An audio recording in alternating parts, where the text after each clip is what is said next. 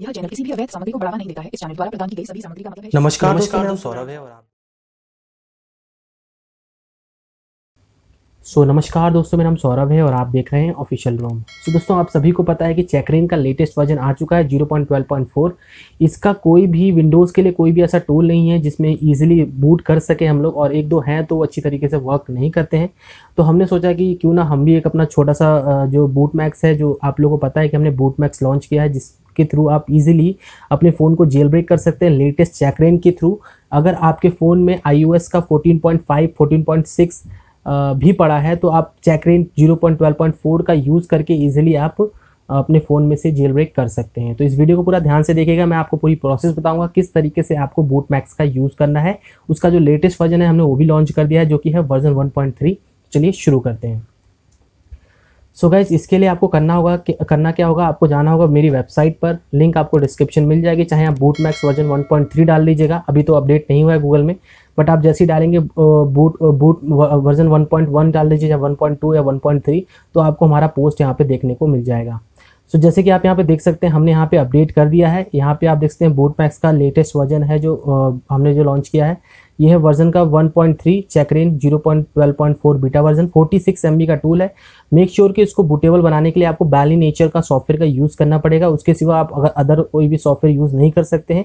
नीचे आते हैं तो नीचे आप यहाँ पे देखते हैं, हमने एक और लॉन्च किया था तो ये आप रूफूस के थ्रू कर सकते हैं। बट ये उतना ज़्यादा बेटर नहीं है, इसमें बहुत सारे इशूज़ आ रहे थे तो हमने इसको फिक्स करके ये वाला लॉन्च किया है। तो आप ये वाला ज़रूर डाउनलोड कीजिएगा। सिंपल सा है, मीडिया फ़ाइल के ऊपर क्लिक करना है और यहाँ पे आपको एक डाउनलोडिंग बटन मिलेगा, उसके ऊपर आपको क्लिक करना है। क्लिक करने के बाद आप डायरेक्टली मीडिया फ़ाइल के लिंक पे चले जाएँगे, आपको इस फ़ाइल को डाउनलोड कर लेना, मात्र 46 सिक्स की फ़ाइल है। तो चलिए दिखा देते हैं किस तरीके से आपको बूटेबल पेन ड्राइव बनानी है। तो सबसे पहले तो आपको बैली नेचर डाउनलोड करना पड़ेगा। बैली बैलिना नेचर और उसकी वेबसाइट पर चले जाना है। और आपको यहाँ से इस फ़ाइल को डाउनलोड कर लेना है। मेक श्योर sure कि विंडोज़ के लिए डाउनलोड कीजिएगा। यहाँ पे आपको मैक्स के लिए भी मिल जाता है लिनक्स के लिए भी मिल जाता है। तो हमें विंडोज़ के लिए डाउनलोड करना है। हमारी विंडो हमने पहले से इसको इंस्टॉल कर रखा है तो आप देख सकते हैं यहाँ पे ओपन कर लेते हैं। तो जैसे कि आप देखते हैं हमने बैली नेचर बैली नेचर का सॉफ्टवेयर जो है वो ओपन कर लिया है। अब यहाँ पे हम लोग अपनी हार्ड डिस्क लगा लेते हैं। आप चाहें तो पेन ड्राइव लगा सकते हैं। मेरे पास हार्ड डिस्क है तो मैं हार्ड डिस्क लगा रहा हूँ। एस की हार्ड डिस्क हाँ, इसके अंदर मैंने पहले से बूटेबल पेन ड्राइव बनाई हुई थी। तो फिर से हम क्या करते हैं? बूट मैक्स को सेलेक्ट करते हैं फ्लैश करते हैं।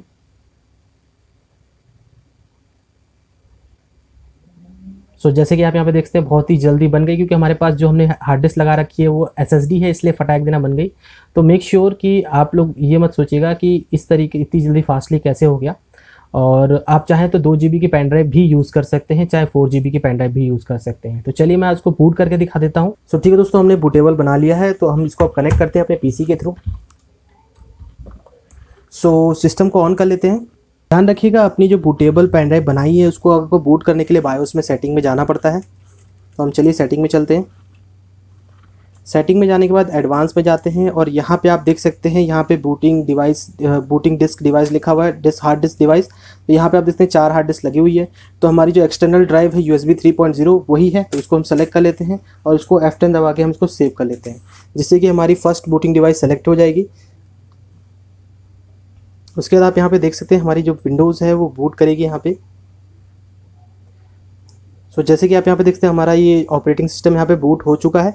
अब क्या करना है आपको यहाँ पे देख सकते हैं आप यहाँ आपको चार ऑप्शंस मिलते हैं alt plus F one alt plus F two alt plus F three और alt plus F four F six और एफ़ फाइव तो आपको उसके करना क्या होगा? अगर आपको चेकरेन को ओपन करना है तो आपको चेकरेन को ओपन करने के लिए alt plus F two press करना है तो आपका चेकरेन ओपन हो जाएगा। अब मान लीजिए आपको बैक जाना है, वेलकम वेलकम स्क्रीन पे तो आपको ऑल्ट प्लस एफ़ दबाना है तो आप डायरेक्टली आप बूट बूट के स्क्रीन पे आ जाएँगे। जो वेलकम स्क्रीन है, उस पर आप आ जाएँगे। यहाँ पे आपको बहुत सारे ऑप्शंस देखने को मिलेंगे।